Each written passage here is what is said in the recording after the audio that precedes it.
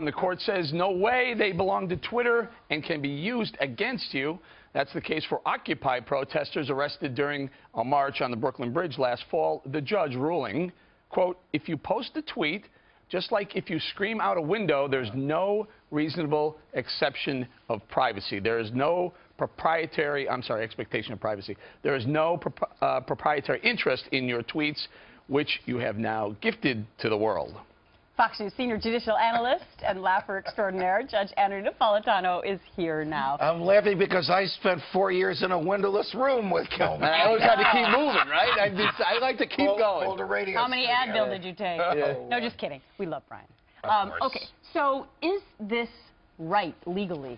Well, it's groundbreaking, I can tell you that. It's the first case in the United States of America in which a judge has said, because I tweet to the three of you, as opposed to email just to Eric, that there's no expectation of privacy in the, in the tweet. I think that this will be appealed to a higher court. This is an entry-level court. This is a New York City criminal court that has a limited amount of jurisdiction. I think when it's appealed to a higher court, perhaps even to the Supreme Court of the United States, they'll be forced to apply. God knows what they'll do. but they'll be forced to apply standard privacy jurisprudence to this. The standard rule before this case was if you communicate with three people, that's private between you and those three. Just because the three becomes 30 or 300, you don't necessarily lose the privacy. This is an Occupy Wall Street protester, and the government wanted all of his tweets, no matter the subject matter and no matter to whom he tweeted. And the court said, once you hit that send button, it's not yours They're 100% anymore. right. They're 100% right. Think about it. The way Twitter is right now, you want to build as many followers as possible and get your thoughts out there, no matter how inane they are. So these people put their thoughts out there. Now all of a sudden they're concerned about sharing it. Are you kidding? Well, there's a little thing called the Fourth Amendment, which until yesterday, and, and I shouldn't say until yesterday because this this case only apply this ruling only applies in this case. It has no effect anywhere else because of the level of the court. If this were the uh, Federal Court of Appeals in New York, it would apply in a couple of states. It just applies to this judge in this courtroom.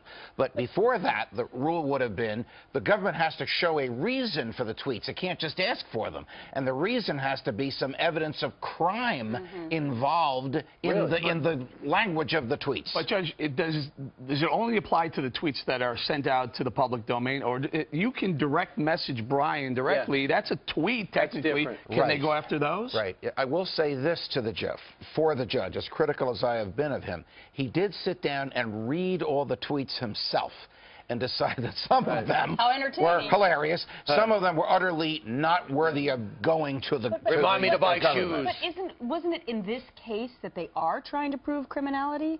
So it's like subpoenaing any other document that, that might help them in the case. Except that that puts the court, uh, the, the court, the cart before the horse, because the Fourth Amendment requires that before the government can get the documents or the tweets or the emails or the text messages, Right. it has to have some evidence of, of crime. It can't get them and hope that there's evidence in there. I blame Jefferson. Why didn't he anticipate the rise of Twitter? And therefore, we, we're stuck with this problem on our the hands. last time I spoke to Jefferson, he didn't want to talk about that. Right, I know. He's all he has to talk about is his farm. I know, heard he might rather talk about being governor of Virginia than he Does would Eric, does Eric. Holder tweet?